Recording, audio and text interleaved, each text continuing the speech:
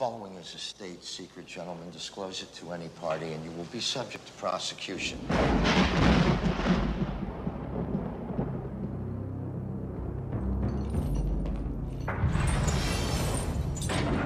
His name is John Mason, a British national incarcerated on Alcatraz in 1962.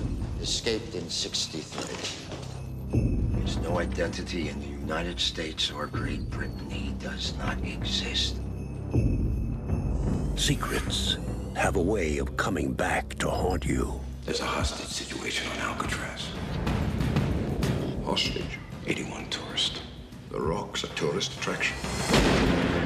The one you train to defend you becomes your greatest threat. A battery of VX gas rockets is presently deployed to deliver a highly lethal strike on the population of the San Francisco Bay Area. And the one you abandon becomes your only hope. You go talk to him. Me? Yeah. Hiya.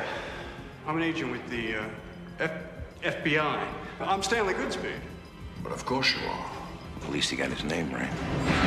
Now, all that stands between a city and a disaster The power of this chemical is way beyond anything you can imagine.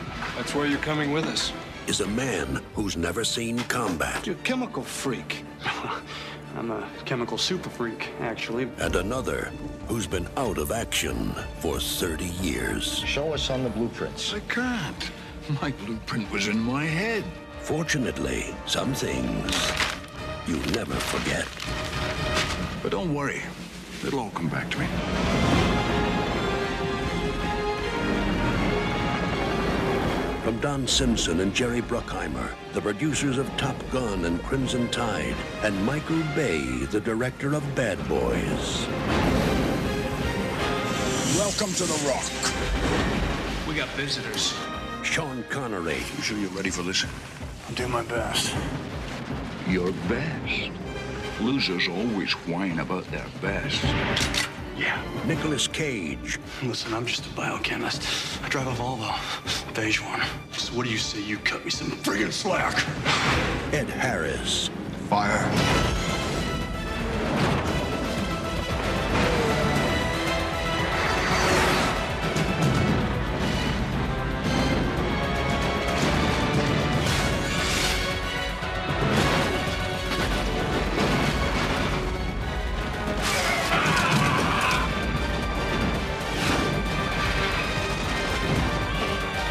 This summer.